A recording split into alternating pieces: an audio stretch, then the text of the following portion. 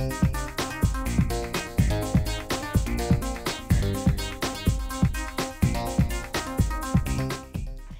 everyone, it's your girl TJ from BNG TV and welcome to Hot Topics.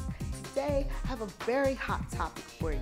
In love in hip hop New York drama, because they always have drama, Peter Gunz, who is married to Amina, had a consistent affair with his baby mother, Tara.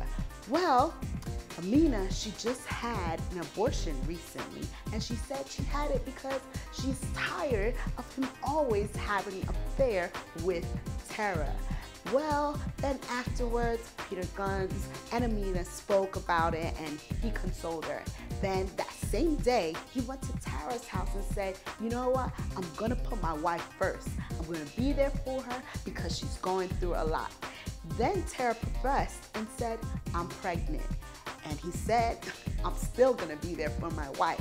She got really, really mad. Now, the thing is, what's gonna happen now? Well, for more hot topics and gossip, subscribe to BNG TV. It's your girl TJ signing out. Peace. Bye.